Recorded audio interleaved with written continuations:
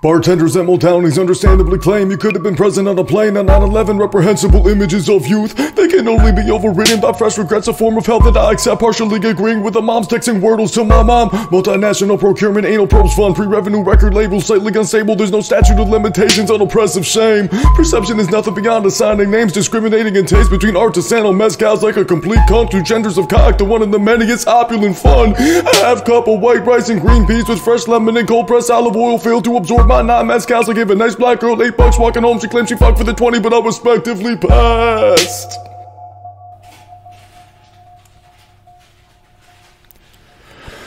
Hmm.